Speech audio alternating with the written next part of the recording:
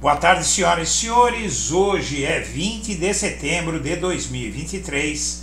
São 16 horas e uma reunião surpreendente com resultado surpreendente entre Lula e Biden. Os presidentes de Brasil e Estados Unidos ensaiam discurso unificado pró-sindicatos.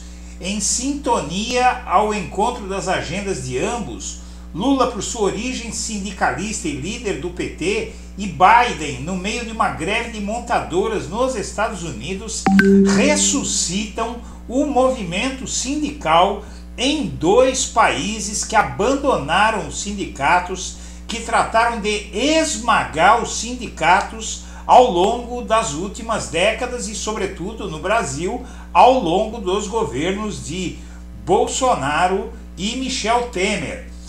Na verdade, em explícita demonstração de harmonia entre os dois líderes, Lula e Biden ocuparam mais de 10 minutos diante da imprensa, momento que normalmente leva não mais que alguns segundos, tomados por mesuras e um discurso unificado sobre a importância dos sindicatos de trabalhadores e contra a precarização do trabalho sobre a importância de uma classe média forte e de que os mais ricos paguem impostos adequados. Isso é uma revolução em nível mundial.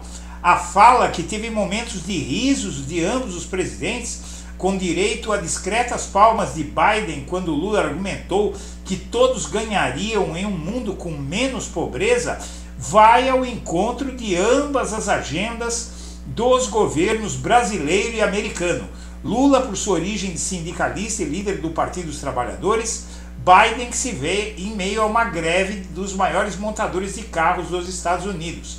Após a reunião, ambos se preparam para anunciar a parceria pelos direitos dos trabalhadores e trabalhadoras, que, segundo o Planalto, pretende promover o trabalho digno em colaboração com os Estados Unidos.